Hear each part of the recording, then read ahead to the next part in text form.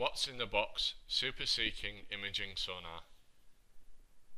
Included in the box you have a Super SeaKing Imaging Sonar, a Tritech 1 meter whip end cable, an accessory kit, a software CD and warranty statement, and finally a build record.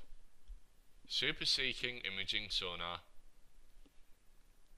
Operating on one of two chirp frequencies, it has a maximum range of 300 meters. It uses two different communication protocols, these being RS-232 and ArcNet, which are selectable via internal jumper settings.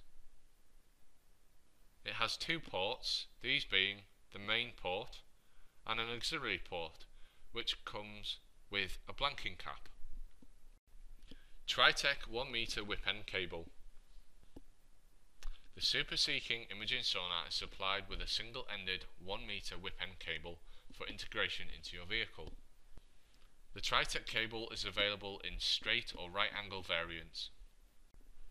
Accessory kit. Contained in the accessory kit you have a 3mm Allen key,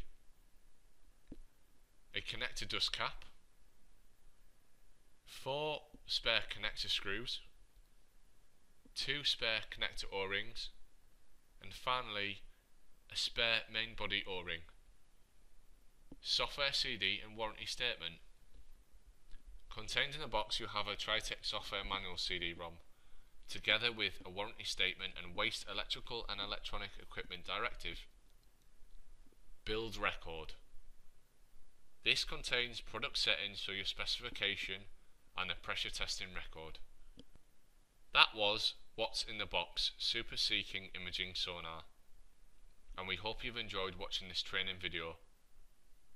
For more information on our training contact training at tritech.co.uk or visit our website at www.tritech.co.uk.